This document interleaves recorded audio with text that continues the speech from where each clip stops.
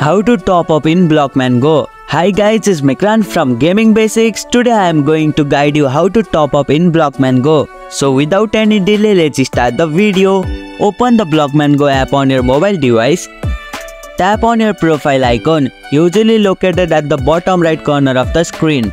Look for the option to top up or recharge and select it. This will typically be next to your current balance of G-Cubes. A list of top-up options will appear, showing different G-Cube packages with corresponding prices. Select the G-Cube package you want to purchase. You will be redirected to the payment screen where you can choose your preferred payment method, credit card, PayPal, Google Play or Apple App Store depending on your device. After selecting the payment method, follow the prompts to complete the purchase.